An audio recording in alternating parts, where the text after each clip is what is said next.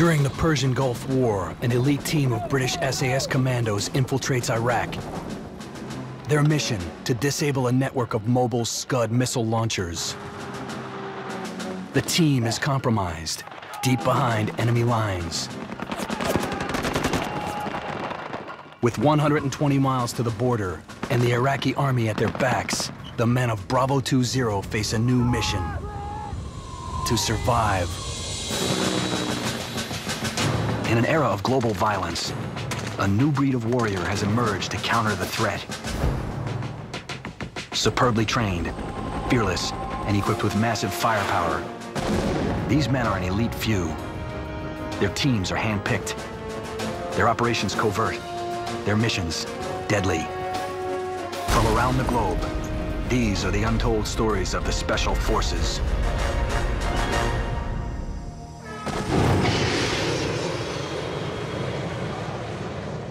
On January 17, 1991, a U.S.-led coalition launched a massive air war in response to the Iraqi invasion of Kuwait. Operation Desert Storm had begun. Laser and satellite-guided missiles dramatically reduced the risk of Allied casualties. It promised to be a clean, high-tech war. Iraqi President Saddam Hussein vowed to retaliate.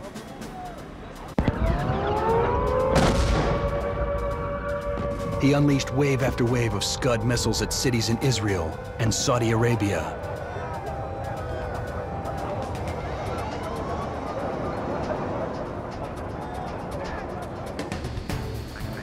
Airstrikes proved useless against the Scuds. The missiles were mounted on mobile launchers and eluded aerial surveillance.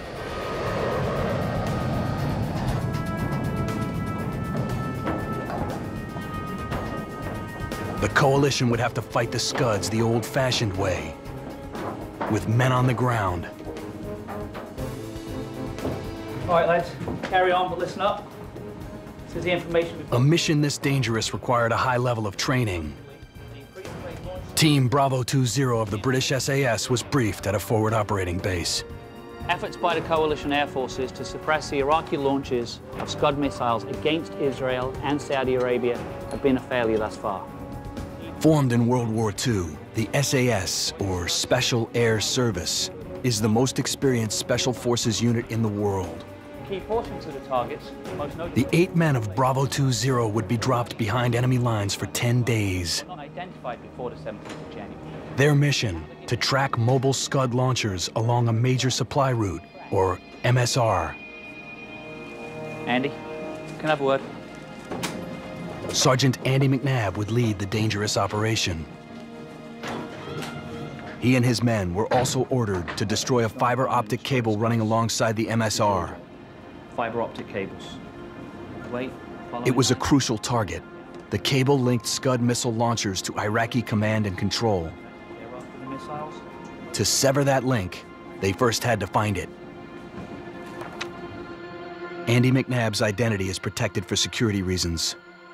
The problem was there was no information, very little mapping, and no satellite imagery of the area that we're going to operate in. You've just got to get out there. And the argument is, well, that's what special forces do. Sometimes they go in without any information whatsoever because they're there to gather it. When you land, find a lie-up position with close proximity to the main supply route. You're going to have to dig into the sand to create your LUP. The flat desert terrain would offer little cover. The squad would have to dig trenches or lie-up positions to hide in.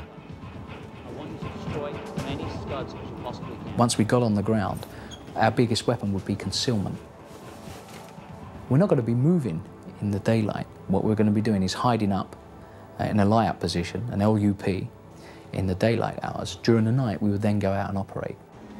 If we haven't heard from you within 48 hours, make your way back to the rendezvous point right here, and we'll have a helicopter there ready to come and meet you. The way that we operate is in small groups, maybe four, eight, 12 men, going in for a- a surgical strike uh, to hit a target and get in there quickly and come out even quicker. Bravo 2-0 geared up and prepped the mission. Everybody in that patrol, all eight of us, get in, we start and plan and prepare the operation. Because of everybody's background being so different, teamwork is so important. At 24, Bob was the youngest member of the team. He had been in the SAS six months. Chris Ryan, a six-year veteran, was the unit's medic. Mike joined the SAS from New Zealand. You've got to move enough weight as it is, you know. Stan, an Australian, was a demolition expert. From a commander's point of view, you're getting a lot of different types of experiences. Everybody feels that they're part of the job. Vince brought 20 years of experience to the team. Dinger had specialized training as a paratrooper.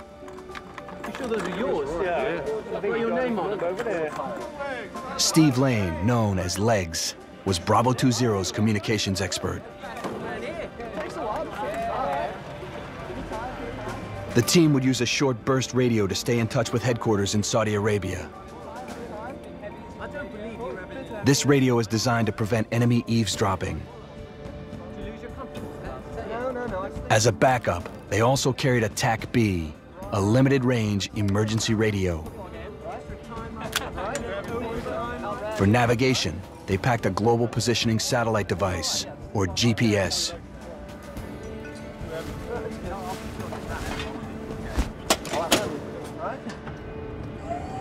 On January 22nd, the SAS boarded a helicopter for the flight into Iraq. Chris Ryan had no illusions about the nature of the mission. It was quite a, an emotional event because I think everybody had a fair idea that this was going to be a one-way ticket. So we said our farewells, got on board the helicopter, and then flew into Iraq. Looking out the windows, you, you know, you could see quite far, and, and the ground was very flat. Uh, the ambient light was, was very good. The helicopter raced 20 yards off the ground to avoid enemy radar. The helicopter didn't have any armaments on. I mean, the crew were very brave. If we downed the aircraft, that they were just to attach themselves to us and we would, we would bring them out. Uh, these lads hadn't been trained in escape and evasion or anything, so you know, they were, they were taking a huge risk.